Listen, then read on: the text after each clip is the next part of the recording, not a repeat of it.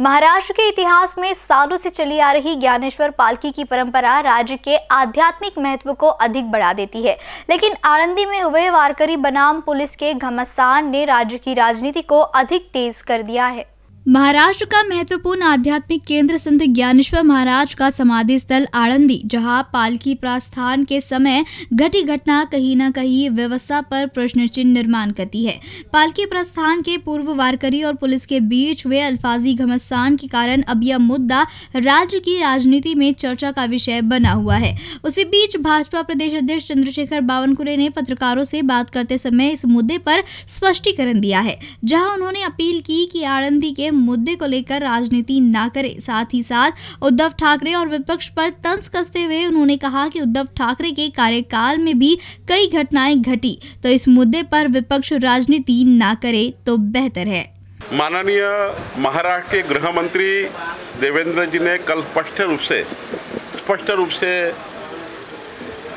महाराष्ट्र के सारे political parties को आह्वान किया कि इसकी राजनीति ना करें। और जो घटना वहाँ हुई है उस घटना को लेकर भी उन्होंने सच्चाई मीडिया के सामने और जनता के सामने रखी है।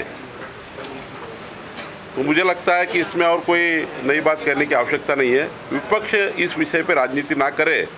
पिछले बार भी उद्धव जी के समय मुख्यमंत्री जब वो थे भयंकर घटना इसी स्पॉट पे हुई थी।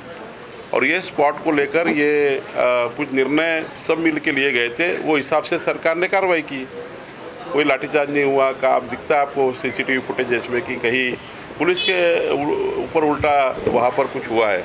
लेकिन चलो वारकरी संप्रदाय, वारकरी जनता जो है, वो महत्वपूर्ण है। भगवान विठल रखमई दर्शन लेने वो जा रहे हैं।